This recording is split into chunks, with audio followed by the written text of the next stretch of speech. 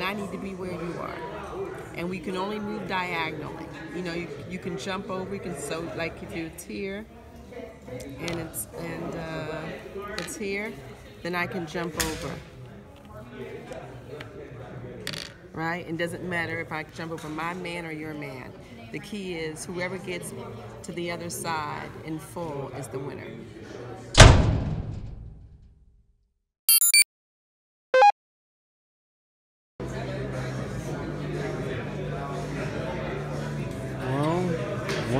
Groups is gonna go home with a pretty little big check. It reads $10,000. We're over at Rocket Fuel. There's a uh, Silicon Valley Black Youth Hackathon, hackathon happening. We got one of the Street Code Academy kids, uh, three of them actually. They made a little team, they made a little app. They made it to the finals. Let's see uh, how far they go. Everybody does its warm up. Taylor Swift's everywhere. What can I say?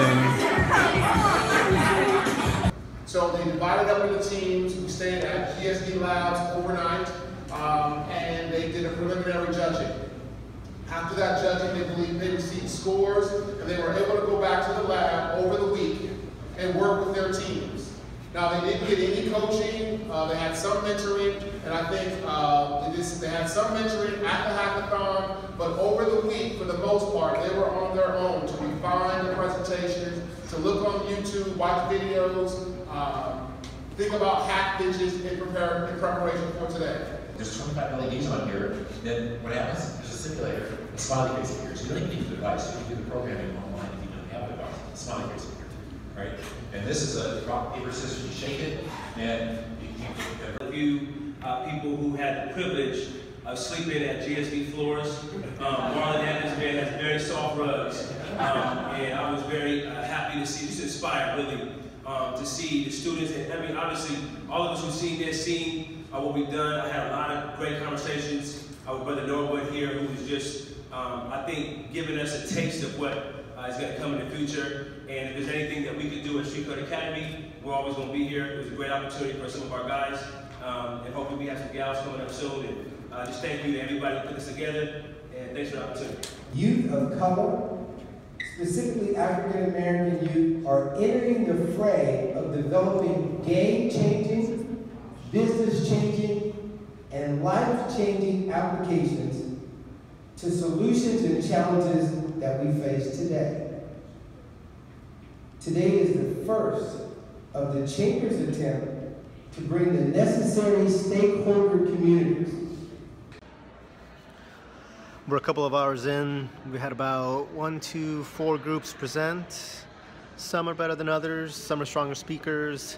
Some didn't have their team members show up. They can't show a demo. They can't.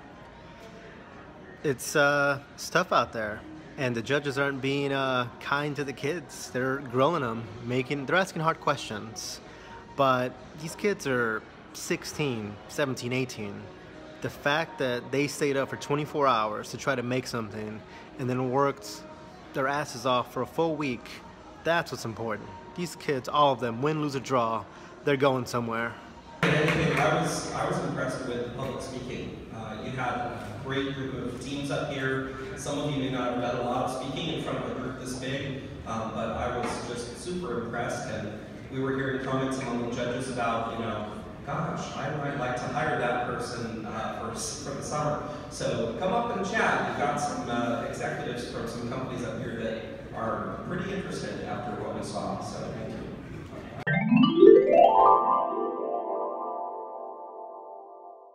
Most important thing is that it's okay to fall for a second and mess up uh, and not give up on yourself.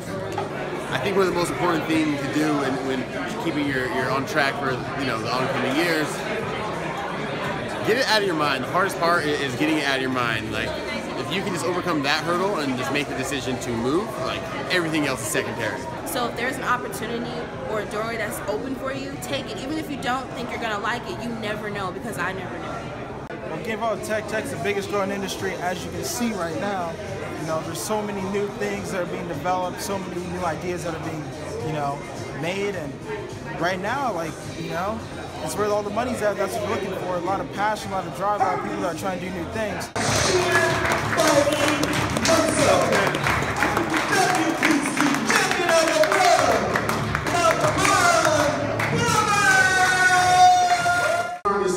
Positive people, positive thinking. Someone that's saying I can and I will, not saying I can't and I want. Because if you surround yourself about people that are saying I can't and I want, guess what? That negative thought, that negative thinking will influence you and it will gravitate and it will uphold on you. So you will become, you know what?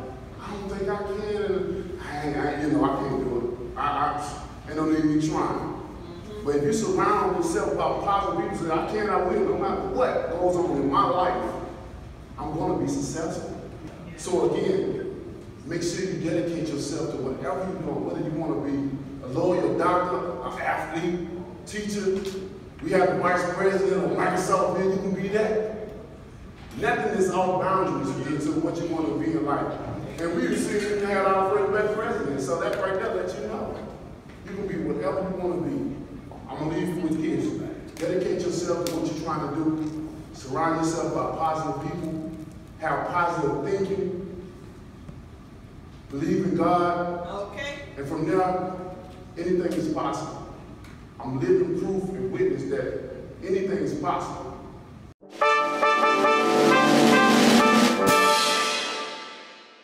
Oh, look at that big old track? Wow. Jami won. That's right. You got it. Three, two, one.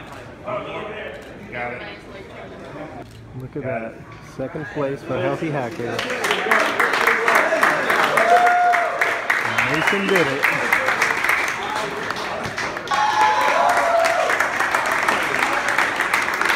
Boys came in second. Got a nice little fat check for a thousand bucks. Take home the grand prize. Twenty-five hundred dollars. Won twenty-five hundred Not only was it a three week, I mean, a three month commitment on the planning and development side, but we had young people in the community who were engaged and were getting mobilized around the idea that, hey, guess what? On February 6th, they're going to be handing out some prizes over there at Rocket Fuel, and we want to be a recipient of that. So, what work do we have to do? The upside is that our community is embracing the language of technology and, of- and of design and development, right? We're, we're expanding our vocabulary and we're making great partners. I mean, Rocket Fuel, I, I can't thank them enough, enough for hosting, leading, right, and resourcing us in a way that can make all this possible for these young people.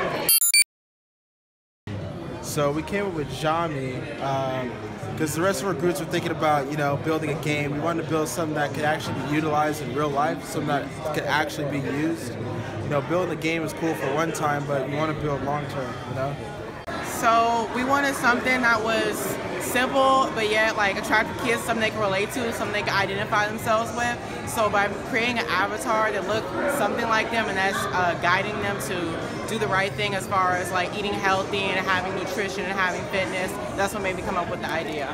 We all enjoy fitness, and we wanted to touch on an aspect that's not really most common, but something that relates to our generation or close to our generation. And we know obesity is one of the biggest problems amongst children in middle school and high school of pre-diabetes stages. And Taylor gave me the idea of starting the app, and we just started from there, collaborating with many ideas. And um, I, we came up with the idea because uh, first we had a different idea, but then my friend was like, "Oh yeah, uh, you know Candy Crush, how it's addicting. We should make a game just like that." I was like, "Oh yeah, that makes sense." So I thought about it. And I thought, yeah, we should make a game called Vegetable Wars. We fight other vegetables and keep our uh, balance pretty low, and make sure kids have fun too and uh, know the importance of um, what they put in their body. It really affects them. But uh, yeah, that's how we came with the idea. All right, we've wrapped up a long day at the hackathon here in Redwood City. Good old boys at Rocket Fuel. Win, lose, or draw, all these kids, you know, they got some some big checks. everybody's a winner. It's Super Bowl weekend, for Christ's sake. These kids could be anywhere in the world, partying, drinking, whatever, and yet they're coding, making pitch decks, learning about business, interacting with people in the tech world. These kids are ahead of the curve. Today's event was a step in the direction of speaking to companies, markets, and the, the just the, uh, the the population at large that we are something special, that we got something amazing to offer, that within a week we could build ideas that will have you excited, that we have potential to market ideas, develop ideas, design ideas, present ideas, sell ideas. Like these are all the these are all skill sets that people are sleeping on every single day in every single company. It's time for that to stop. It's too long of that. It's it's it stems from injustice. It stems from stereotypes. It stems from racism. It stems from ignorance. It stems from selfishness and greed. Like, and we gotta eliminate that because we are. Uh, today's event just shows us, man, that we're shortchanging all ourselves, all of us, when we do that. So I was, man, I'm happy and excited for today. Not to mention, it's the special because Street Code's on the map. You know, I mean, we was representing East Palo Alto, was representing all up in there. Every award, dang near, we was represented in there. Uh, we was the majority in there. Silicon Valley uh, Black Chamber of Commerce, East Palo was representing, Street Code was representing. Stand up. Hashtag the movement. Join us. We out.